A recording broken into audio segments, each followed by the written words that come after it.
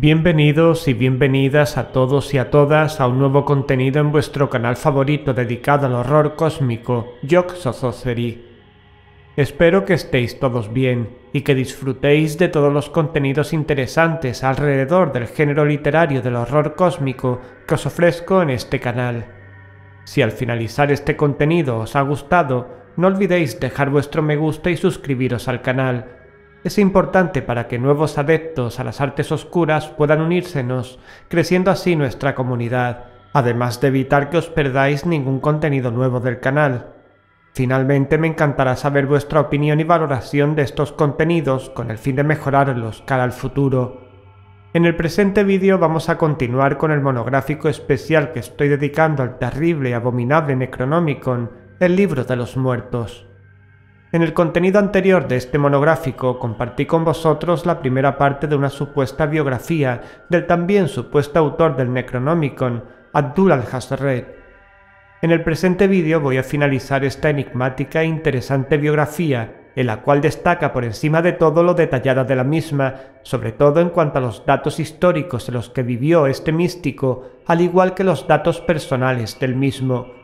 Al finalizar esta exposición probablemente crecerán las dudas en todos vosotros y vosotras sobre la autenticidad real del Necronomicon, pues la riqueza y aparentemente veraz información y datos existentes tanto del anterior documento comentado en este monográfico acerca del Grimorio maldito y como de la presente biografía parece llevarnos al camino de la autenticidad del Grimorio objeto de este estudio pormenorizado y documentado sobre el mismo. Sin más preámbulos, pasemos a completar esta supuesta breve biografía del autor del Necronomicon, Abdul al-Hazarred. Acompañadme, cultistas.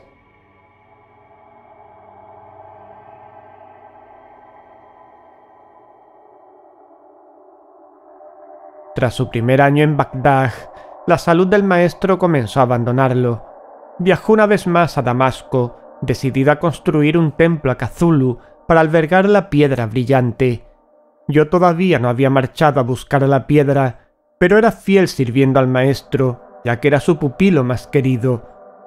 Otros discípulos buscaron pero no encontraron nada, o nunca se volvió a saber de ellos tras acudir a las lejanas tierras de Malasia y Japón. La gente de Damasco juraba que el maestro rivalizaba con Simón el mago el mentor gnóstico de antaño, rival de Pablo de Tarso y de Pedro el discípulo de Jesús el Nazareno.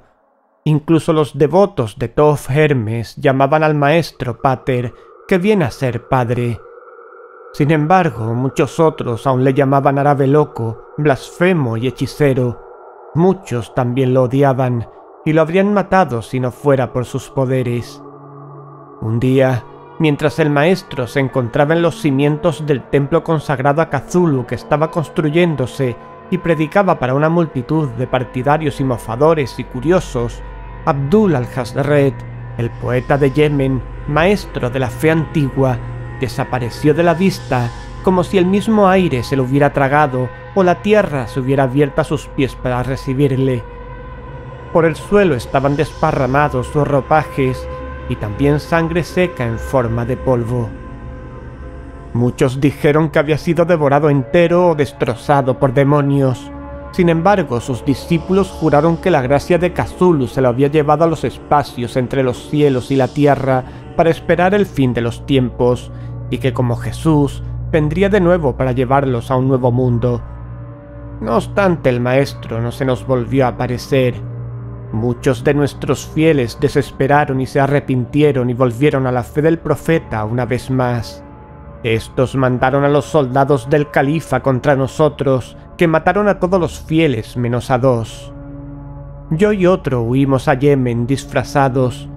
Conmigo llevé la lasif y otras posesiones del maestro, sus riquezas obtenidas en Bagdad, la piel de reptil, el cofre de oro verde e incluso la sangre en polvo de los cimientos del templo, porque creía que eran los restos mortales del maestro. No sé qué lo mató, quizá un demonio de la ciudad sin nombre, quizá un poder, o una enfermedad contraída en uno de sus muchos viajes, o quizá hubiese trascendido la carne mortal para morar con los servidores de Kazulu en la lejana Aldebarán.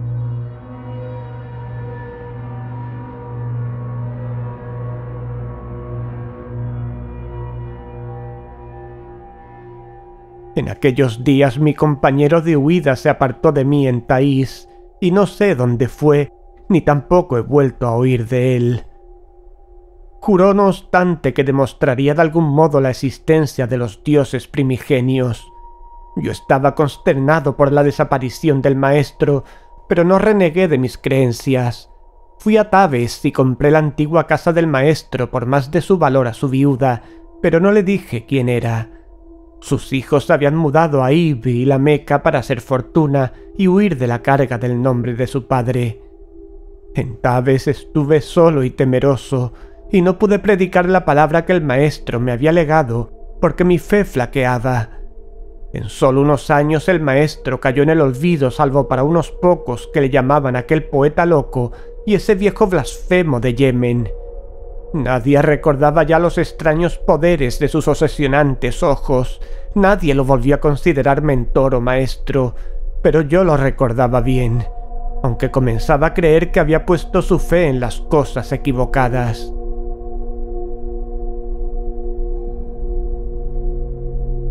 Han pasado años desde la primera vez que vi a Abdul al-Hazred y aún así todas las noches mis sueños me llevan a las moradas de los dioses primigenios y al vórtice del caos. Aunque he perdido la fe, creo sinceramente que mi alma es de Kazulu, que me envía sus sueños. Me gustaría huir de los primigenios, pero no puedo. Las oraciones a Alá solo empeoran las cosas. Estoy temeroso y enfermo de continuo. A diario miro fijamente el cofre de oro verde y medito. Me pregunto cómo sería cabalgar sobre la repugnante ave Chantak hasta el mismo trono de Asasov y vivir dentro de la eterna presencia del dios ciego e idiota. He copiado dos veces el Alasif y envié los ejemplares a unas sectas de Damasco y Siria que me han localizado y creen que Al-Hazred fue un profeta. No pude desmentirlo, y también les advertí en firme acerca de los efectos de las enseñanzas sobre las mentes frágiles de los hombres.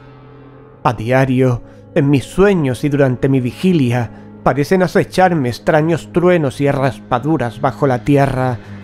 He decidido viajar a Cádiz, en Al-Ándalus, esperando dejar atrás de algún modo a estos demonios que me obsesionan. Sin embargo, creo de corazón que será en vano. Seguiré la senda del maestro hasta que mi alma se consuma en las fauces colmilludas del semblante serpentino y siseante de Yig el mentiroso. El dol consumirá mi carne y el ave que entregará mi espíritu inmortal a Sasov, que sonríe en su trono ante la vil cacofonía musical de los habitantes del infierno.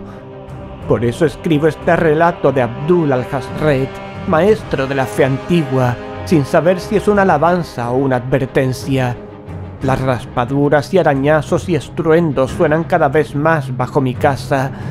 Debo despertar de mi pereza y marcharme a...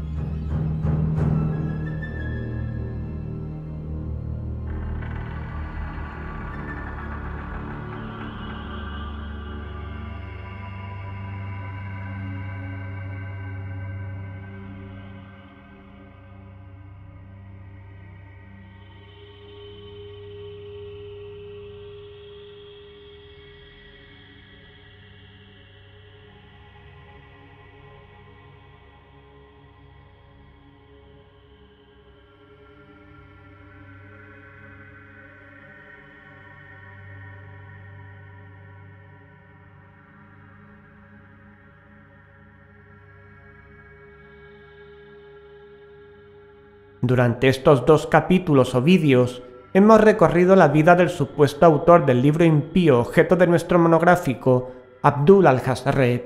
Anteriormente he compartido con vosotros el documento Historia del Necronomicon, del puño y letra de su creador Howard Phillips Lovecraft.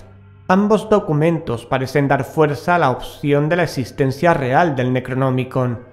Sin embargo, lo más apasionante, enigmático y aterrador de este monográfico llegará los próximos contenidos, donde leeremos con detalle dos versiones diferentes del temido, odiado y terrible Necronomicon, o al menos lo que supuestamente se conserva de él, comenzando por el que tiene un carácter más interpretativo que literal del mismo, que es el de Donald Tyson.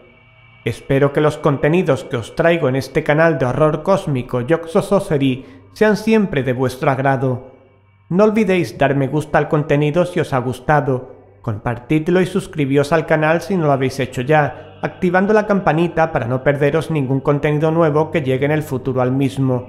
Es un placer para mí compartir la pasión y conocimiento sobre el género del horror cósmico que poseo aquí en tu canal líder de este género literario, Yoxososeri.